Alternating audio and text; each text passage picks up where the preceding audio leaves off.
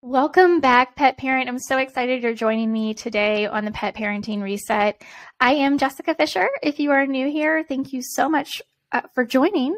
Today we are talking about, I'm actually just giving you an update on some of the things I'm doing with my dog, Kimberly.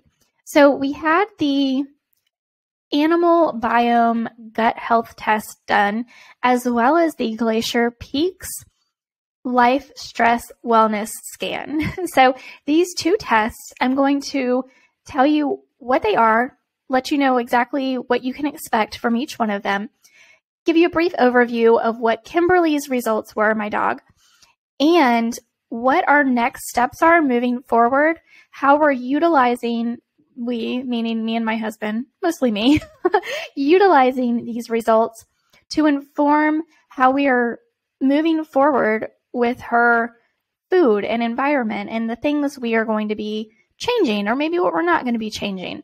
So that's what today's episode is all about. I can't wait to tell you all about it. So let's get started.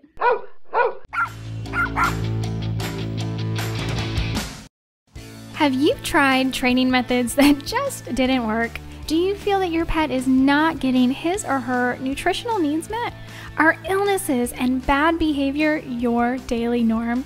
You're going to want to join me on the Pet Parenting Reset, where you'll hear interesting and informative interviews and get solutions to all your pet problems. I'm your host, Jessica L. Fisher.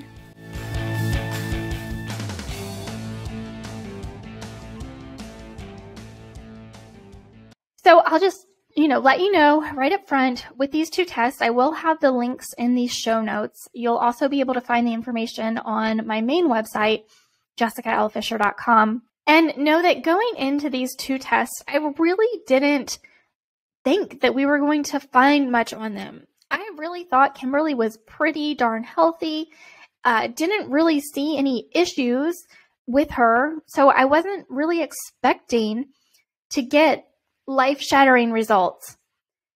And I think that's why the results we did get were so shocking to me and why I wanted to bring this information to you because while both of these tests I highly recommend for any dog or cat that is experiencing symptoms of poor health, whatever that poor health may be.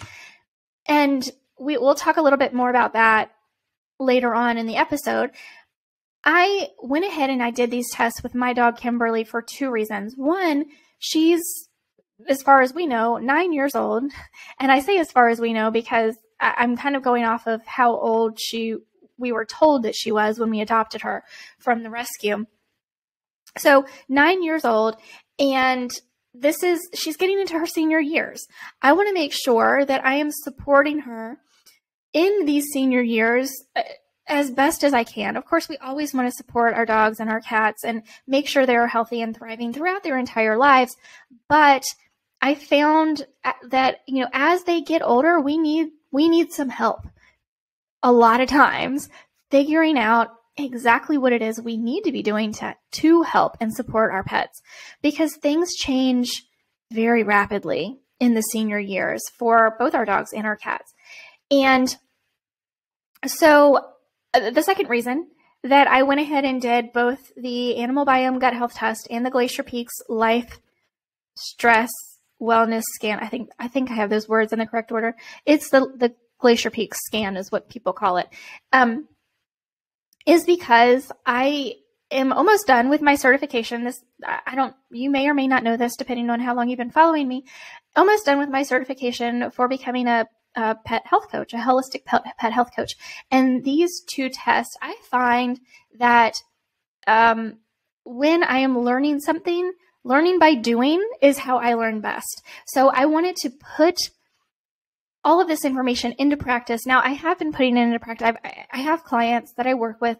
In fact, I have um, a beautiful pit bull and a, an English bulldog, uh, both that have serious, serious, serious skin issues going on, um, yeast, all kinds of nasty, nasty things. And uh, so those are the two dogs that I am working with as part of my studies.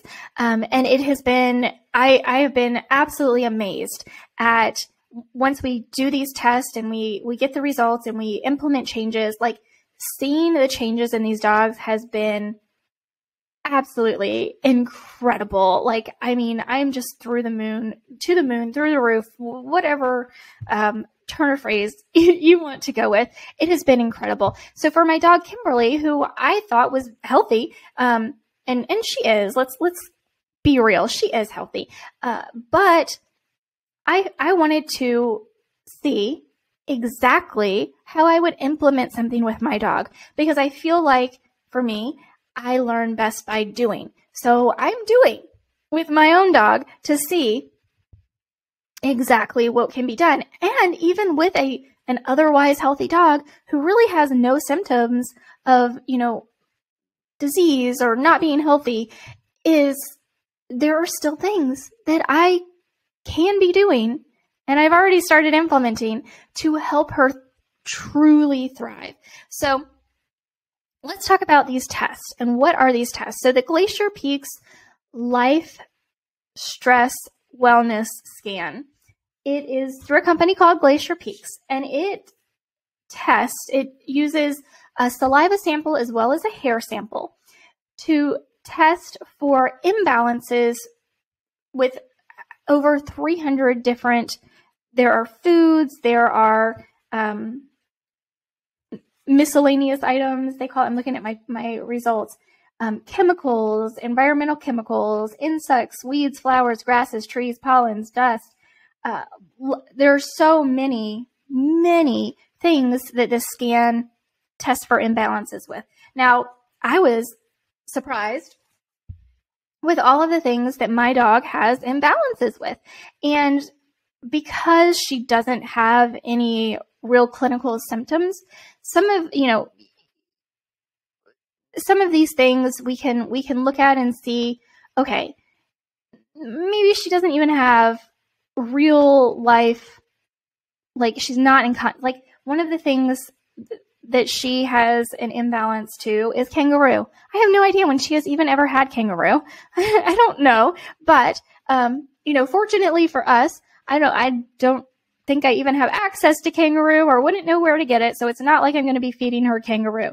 Um, so that's something to just kind of be like, oh, that's interesting, right? But there are other things on this test, uh, the test results, that she is sensitive to, according to the test, such as spinach, sweet potato, um, salmon oil.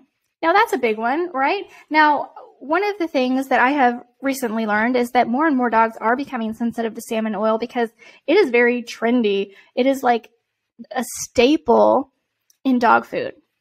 Cat food, possibly, but definitely dog food. It has become a staple in making a lot of commercially available uh, commercially available dog food.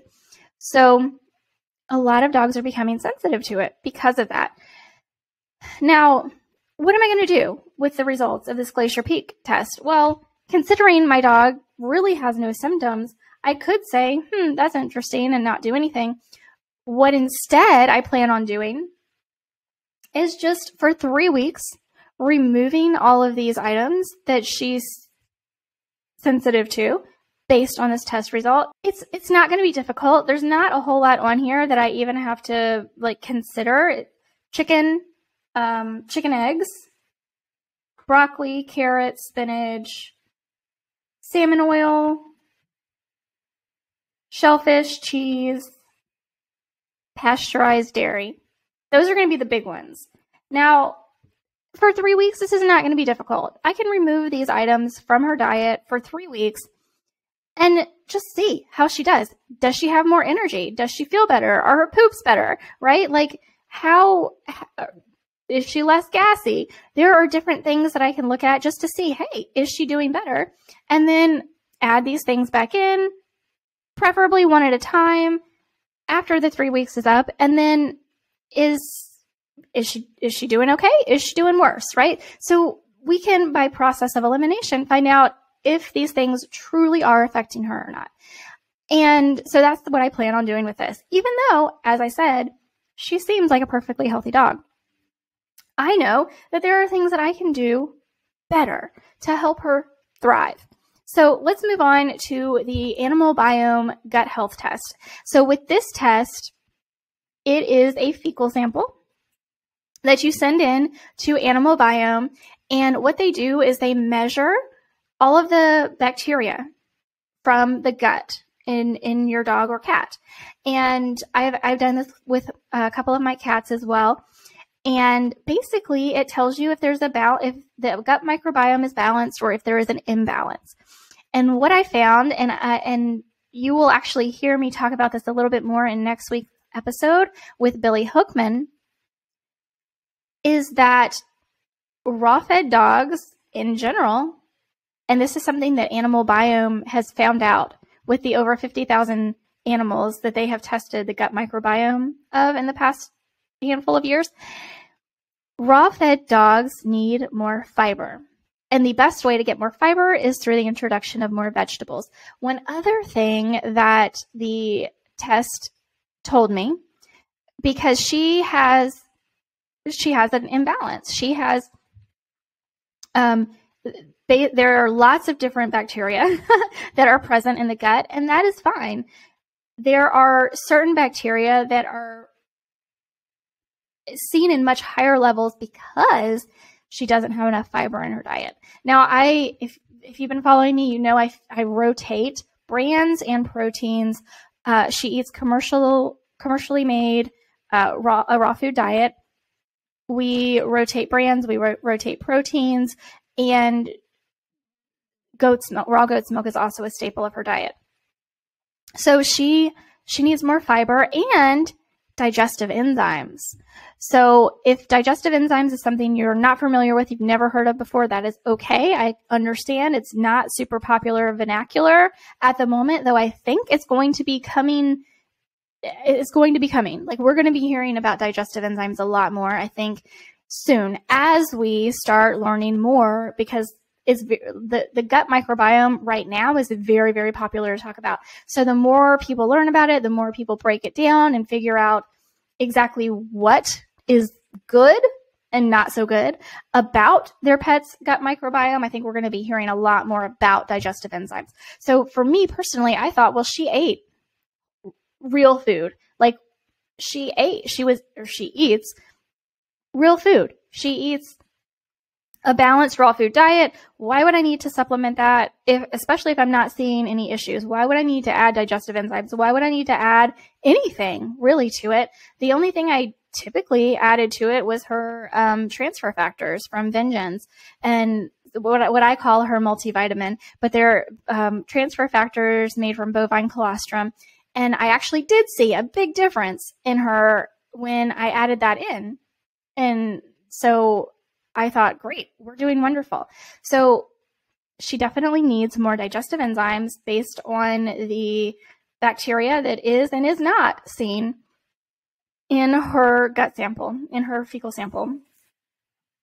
So we need to add vegetables. We need to add digestive enzymes. Now, I am the kind of person who does not want to supplement if I don't have to, as I've already said. If I can use whole foods, real foods, to supplement my dog or my cat, that is my preference. So I looked at Green Juju because I know they provide uh, three different vegetable blends that uh, between the three of the vegetable blends, you're going to get over 30, or I'm sorry, you're going to get over 17 different vegetables to rotate between when you feed your dog or cat these green juju vegetable blends. So I knew off the top of my head, this is going to be the best way for me to add vegetables to my dog's diet. And I'm I'm specifically talking about my dog Kim because she is not a fan of eating vegetables if I put vegetables on her plate, she will eat around them. I have to actually mix veggies into her meat, into her raw food to get her to eat vegetables. So the easiest way to do that is through a veggie blend. So I went to Green Juju. Well, I went to my local pet store and I had Janet, my friend who owns Pupology, um, who is a co-host on the Pet Health Junkies podcast. If you haven't checked out my other podcast called Pet Health Junkies, why not? Make sure to, after this episode, you search Pet Health Junkies and follow that podcast as well. I have two co hosts on that podcast. And so Janet is one of them. She owns Pupology, which is my local um, healthy pet store. I went to her and I said, I need to order some green juju. And while I was looking through the green juju website, and I started going back through some of the talks on the Green Juju Facebook and Instagram page. They also have a product called Bam's. And Bam's Beets is wild fermented beets and red cabbage. Now, what is special about this is that because it is fermented, one, we have removed the sugars, so you don't have to worry about the sugar component of the beets. But two, it is naturally full of digestive enzymes. So I already give Kim Green Juju's um, raw goat's milk. That is her breakfast every morning. So I found a company that really resonates with me and my dog and where we are at right now. They are providing loads of products. Well, they actually don't have a huge SKU list, um, but all of their products are incredibly beneficial and serve real life purposes in the health of my dog. So I ordered the BAM's beets and I ordered all three veggie blends. And by the way, these the veggie blends come in what people have I have recently found. They're like when I posted a video, uh, I did a reel um, on my Instagram. If you're not following me on Instagram, it's just the Pet Parenting Reset. You can find me there. Um, they're like, what are those ice cream containers? they look like ice cream containers. They're like cardboard, circular ice cream containers. And um, that's what the veggies come in. So I have a small dog, but even if you have a large dog, you're not feeding a ton of these veggies. So I thaw it and then I refreeze it in little molds so that I have portions that I can thaw for my dog to eat. One one of these little containers is going to for my small dog is going to last a long time. So uh, thawing them and then refreezing them in little molds has been really, really excellent. That way I can easily rotate between the three blends and get all of these different veggies into her diet so that she's getting the fiber that she needs to increase the diversity of the bacteria in her gut microbiome and the digestive enzymes to help her body um, digest all of the food that she is eating. So I, that that turned out to be a much longer story than I anticipated it to be. but that's basically what we're doing. That's how I'm changing. That's how I'm using the results of this test with my dog Kim. Now, moving forward, I do plan on retesting her gut microbiome in about mm, I'm still in the air if I'm going to do 60 or 90 days. We'll see either 60 or 90 days. I'm going to retest because I need to know if what I'm doing is working, right? And how better to do that than to retest. And then I will be able to see where the bacteria levels are in her gut. Am I closer to a balanced gut? Is it balanced? Right? That would be ideal for it to be balanced. Um, so the, the animal biome gut health test can tell me that. So I will be retesting her in either 60 or 90 days, depending on how I feel, honestly. Um, so that's that's kind of where we're at. I wanted to introduce these tests to you and let you know how I'm using them, even with a dog who otherwise seems very healthy. Obviously, I have learned there is more than I can be doing to make sure she is thriving and that's what I want for her, especially, I mean, obviously throughout her entire life. I want, we, we all want our pets to be thriving. But as she gets into her senior years, which is where she is headed right now, I want to make sure I'm doing everything I possibly can to make sure that she is as healthy as she can be, that her body is in really great shape. One other, you're going to hear some more in next week's episode with Billy um, about how we can support our senior dogs as as it relates to my dog, but it actually translates to every dog because there are there's so much more than gut health, though that is where we need to start. for sure. Um, we talk about muscle wasting and some different things in next week's episode. So make sure if you're not following the podcast that you hit that follow button. That way, every time a new episode launches, it will show up in your podcast library. And uh, every, every Tuesday, every Tuesday morning, you're going to get a new episode. So check your library every Tuesday morning and listen in. With that, I'm going to go ahead and end today's episode. I hope that was um, helpful for you. And if you need more information about either one of these tests or um, just how to support your animal, your pet, wherever they are right now, whether they are healthy or unhealthy, please reach out to me because I am this is my passion, right? This is this is what I do. I love our animals so much that this is what I have devoted my life to learning about and uh, bringing you information about and I am going to be um, offering uh, pet health coaching services in the very very very near future. So reach out to me because within probably a week or two of this episode launching, um, those services are going to be available. If you need help, that is what I'm here for. So, with that, I'm going to say thank you again for being here. Please give your pet some extra love from me today. And until next week, bye, guys. Thank you so much for listening to today's episode. Make sure that you're following the show so you never miss an episode. And please take a moment to rate the show on your podcast app. I'd also love it if you'd share this podcast with your friends and family so that they can benefit from the information to help their pets live long, happy lives too. Don't forget to take advantage of this special discount as a listener today and get access to over 100 online videos and my online dog training, The Furry Family Coach. Just go to thefurryfamilycoach.com and use code PODCAST at checkout to get your first month for only $7. That's thefurryfamilycoach.com and use code PODCAST at checkout to get your first month for only $7. I can't wait to have you join and see you on the inside. Oh, oh.